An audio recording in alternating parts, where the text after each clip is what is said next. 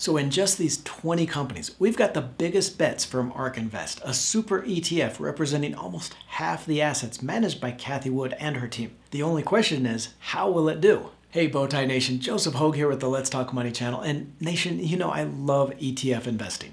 Investing in a fund of stocks, there is no better way to make investing your money as stress-free as possible. But two things I don't like, the fees and the fact that there isn't one ETF with all my favorite stocks and themes. Now, the fees aren't usually that big of a deal. Most Vanguard ETFs charge less than a quarter of a percent annually, which works out to be just $25 on every 10,000 invested. Even the higher fees on the popular ARK Invest funds are less than 1% a year. But there is still that problem that you have to buy several funds to get all the stocks or the themes that you want. There's no super ETF that has all your dividend stocks, your growth stocks from different industries, and all the strategies that you want in one fund. So in this video, I'm going to show you how to create one. In this video, I'll explain exchange traded funds, show you the pros and cons of ETFs. Then, using a new tool online, I'll reveal how to create your own super ETF using the ARK Invest funds as an example. I've added chapters to the video if you want to skip over the basic stuff on ETF, straight to creating your own all-in-one fund. I'll be using the new ETF feature on StockCard with some great details into ETF investing, breaking down different ways to look at funds and giving you the insight into the best stocks in each. I'll leave a link to StockCard in the video description below. Click through and then go to Portfolios in the top menu.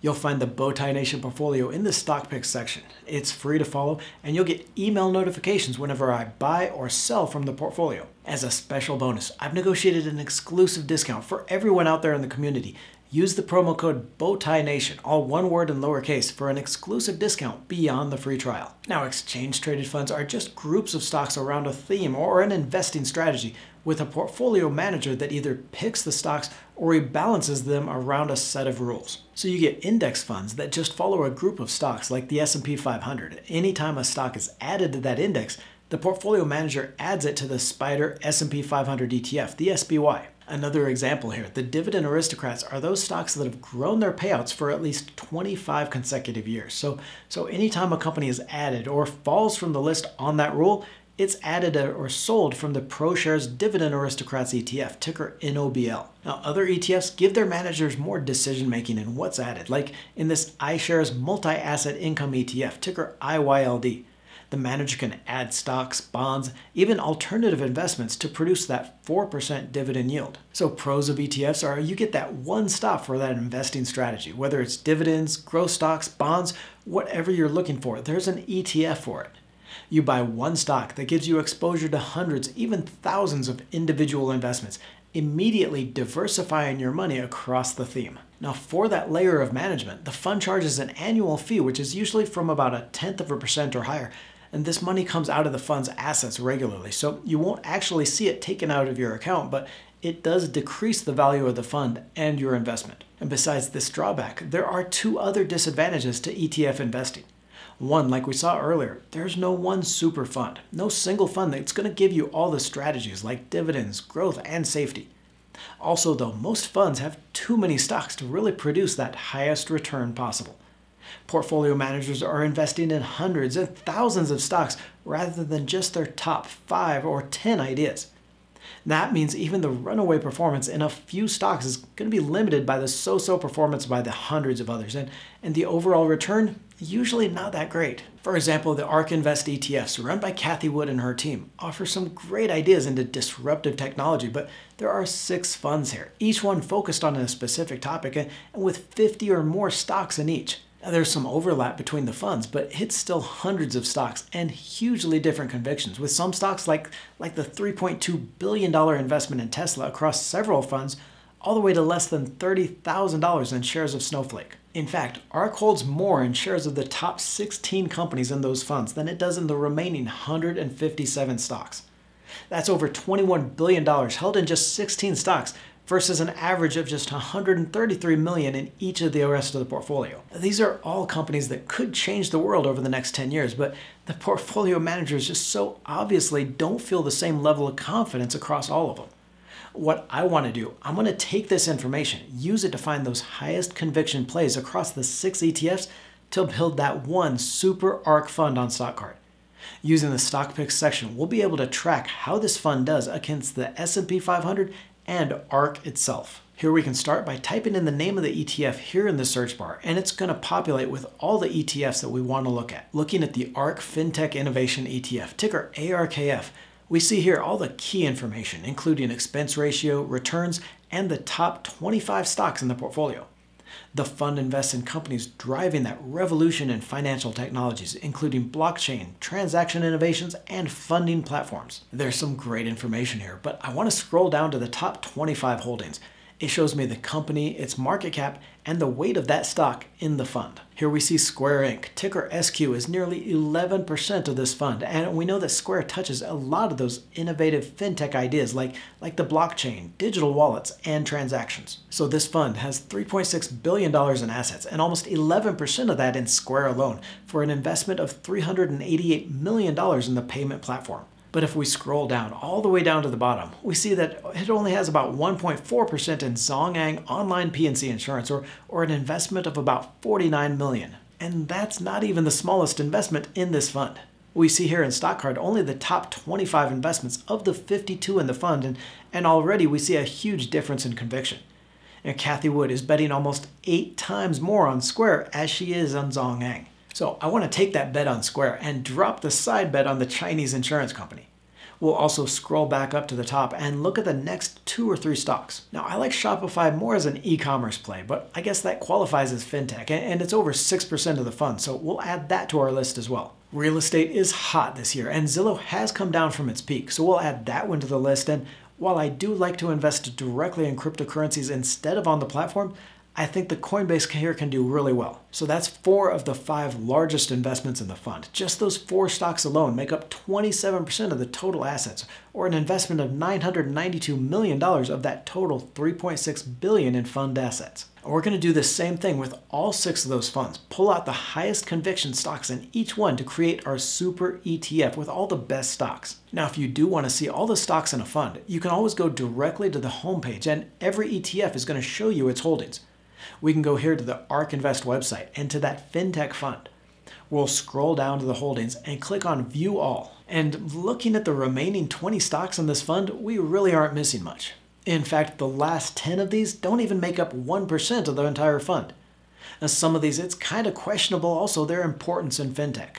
I mean, the fund has money in the South African rand, the currency of South Africa, and Etsy, which is an okay company, but I would put that more in traditional e commerce than fintech innovation. Anyway, the point is with this super ETF, we want to farm the very best of the ARK funds, the biggest investments, and the companies most likely to change the world. Now, onto that ARK Innovation Fund, ticker ARKK, the flagship fund with almost $22 billion in assets across 51 companies. This fund produced a 164% return last year, and while it has come down this year, it could be the best time to buy because these are still the most innovative and disruptive companies on the list. Scrolling down to the top holdings, we first see Tesla here for more than 10.5% of the fund, or an investment of $2.3 billion just in this fund. Now, a lot of Cathie Wood's thesis on Tesla is not only that dominance in electric vehicles, which is expected to benefit from a 20 fold increase in EV sales to 2025, but also its ride sharing future with autonomous vehicles, a market that could be worth $3.8 trillion over the next few years. And while it's had problems lately with that system, Tesla is closer than anyone else in developing that level 5 autonomous driving that, that could enable this robo-taxi business. The fund holds more than $1.2 billion in shares of Teladoc, ticker TDOC, and while this stock is down 54% from its peak, I like it for a long-term investment. Teladoc is the global leader in virtual healthcare with a provider network that covers 70 million US patients and a billion member data points from traditional telehealth to remote monitoring and the next generation of primary care. Membership has grown 40% annually since 2016 and 10.6 million patient visits last year. The company's revenue doubled last year, and 80% of that is from recurring services. So I like the stability, even if that growth in telehealth slows from last year's faster pace. Long term, telehealth and virtual care is the future, but I think data is really the undiscovered value here, processing all that patient data for analysis and research. I'm gonna piss off a lot of people here and skip over Roku. Now, the streaming platform is popular with a lot of investors, but I think it's still overvalued, and with reopening, streaming stocks may not do that well over the rest of the year, so we're gonna skip it from here. Hey, in your portfolio, feel free to go wild. Next on the list though is Coinbase, and this is something you see a lot in these ARK ETFs, that duplication where a company is in several of these funds. But, but since we already added this one, we'll move on to Unity Software, ticker U, the $35 billion leader in creating and operating interactive 3D content for game developers, as well as business applications in automotive, construction, and film. I really like Unity because it's not just in that virtual gaming space, but helping companies design applications in every sector. It's benefiting from that shift in virtual worlds. The company reported 53% revenue growth last quarter, representing three consecutive quarters of increasing sales growth and 2.5 billion in monthly active users. And with that previous addition of Coinbase and these other three stocks, we have what amounts to 25% of the ARK Innovation Fund holdings.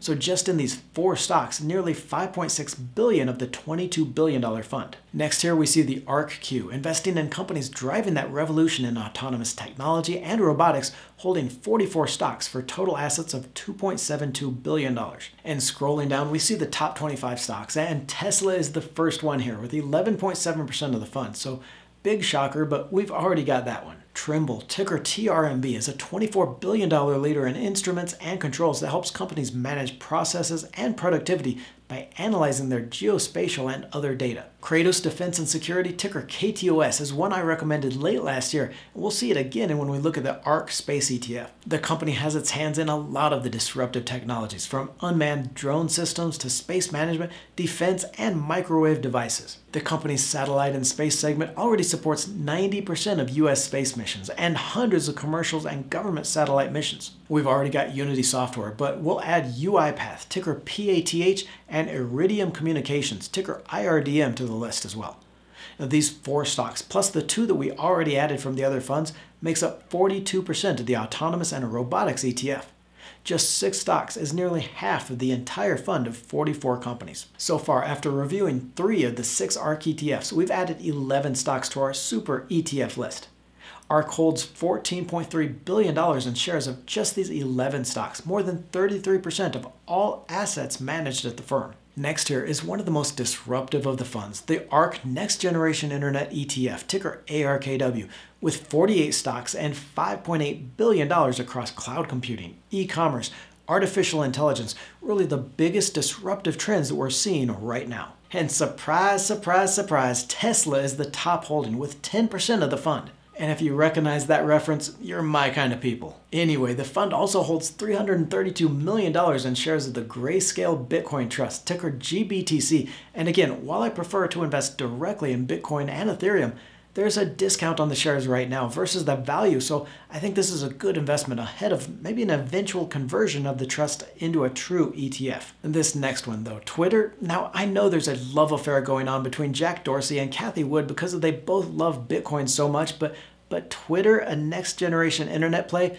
I'm just not buying it. And we've already added the next five stocks here from other ARK funds, so we'll add Twilio, ticker TWLO, and DraftKings, ticker DKNG to our list. This next ETF, the ARK Genomic Revolution, or ARKG, has been hit hard this year, down 26% from its peak. But for those investors willing to wait for the discoveries, this could be one to watch. The fund holds shares of 65 companies within biotech and information technology disrupting the healthcare space for nearly 8.3 billion in assets. And this is also where we see the least overlap among the funds. Other than the top holding Teladoc, which is 6.7% of the fund, we don't see a lot of these other stocks in those other ARK ETFs. So it's a great place to add some of those unique bets. From here, I'll add Exact Sciences, ticker EXAS, Pacific Biosciences, ticker PACB, and Vertex Pharmaceuticals, ticker VRTX. ARK holds more than $1.7 billion in just these four stocks for 21% of the total fund assets. The newest ARK ETF, the ARK Space Exploration and Innovation ETF, ticker ARKX, is by far the smallest, with just 596 million in assets across 41 companies in that space race and satellite communications. And when the fund was launched, yes, that is a space pun because I'm funny like that. But when the fund was launched, there was a lot of pushback on how the connection between the space theme and a lot of these stocks was really kind of weak. You've got some solid companies here, but I've yet to talk to anyone that can explain to me how Amazon, Netflix, and, and John Deere are involved in that space exploration. So we're only going to be adding three from the list. Shares of the 3D printing ETF, ticker PRNT, L3 Harris Technologies, ticker LHX, and drone maker AeroVironment, ticker AVAV. So in just these 20 companies, we've got the biggest bets from ARK Invest. In fact, just these 20 stocks represents 44% of all assets managed across the six ARK ETFs, an investment of more than 18.9 billion in these disruptive companies. The big question is, how's it going to do? Click on the video to the right for the five stocks with the potential to become the next Apple, five small cap companies with room to grow. Don't forget to join the Let's Talk Money community by tapping that subscribe button and clicking the bell notification.